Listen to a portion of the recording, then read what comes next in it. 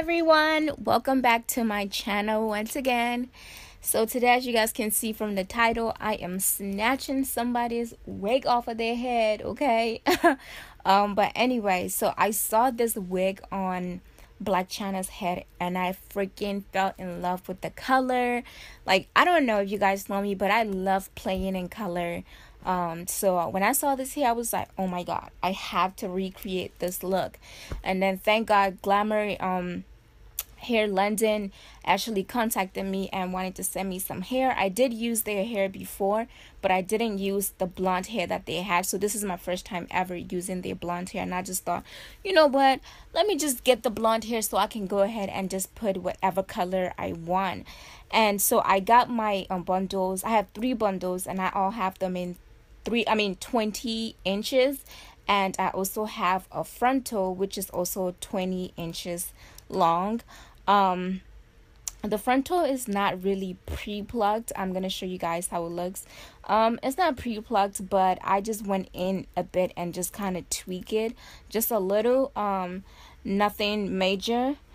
And so I'm just to get right into this video and how I color this here. I'm not going to be showing you guys how I actually make the wig because I do have another video on here that shows you guys how to make a wig. So you're going to need your conditioner, of course, and I got mine from Walmart. It was just like $3 or something, and it's so huge. And then, of course, you're going to get your colors. Um, and I got this color from the beauty supplies, and this is by the brand Kiss. This is my first time ever using this brand um, to color my hair. I usually use Adore, but I wanted to try something different today. Um, so of course you can want to go ahead and just squeeze some conditioner into your bowl. I didn't really measure um measure um how much conditioner or color I'm putting. I just kind of eyeballed it. Um, so the first color that I did is, is obviously the yellow one, but to be honest, I thought I was recording that portion of the video, but I guess I didn't record it because I don't have um any of that in my video.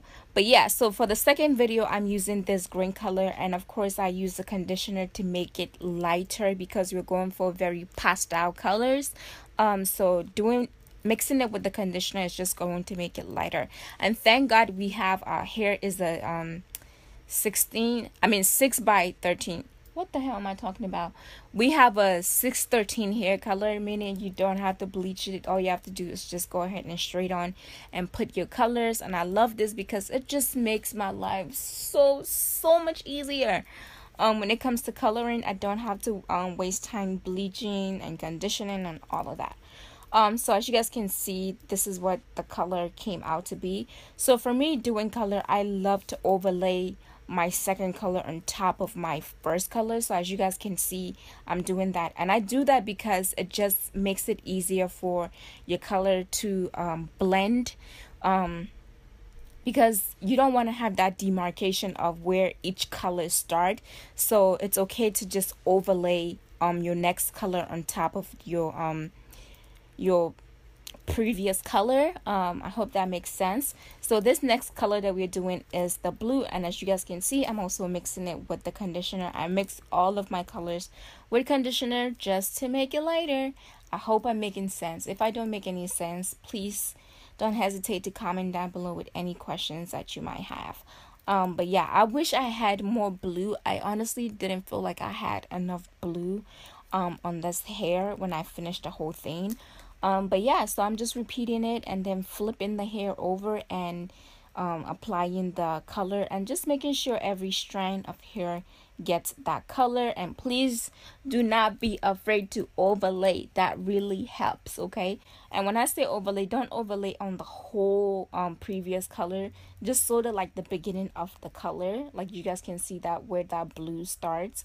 Um just put a bit of that purple on top of it and that is how you get your colors to blend seamlessly together let it just sit for 30 minutes because the hair is already super blonde anyway um and so I let it sit for um 30 minutes and then I just went ahead and rinsed the hair.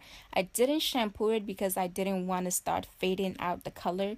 So I just rinsed the hair and I air dried it and then I just went ahead and made my wigs and this is how it came out. I freaking love it. I went to Six Flags with this hair and a lot of people just love it and I keep I kept getting little compliments from little girls. They were like, oh my god, your hair is so cute. She looks so cute.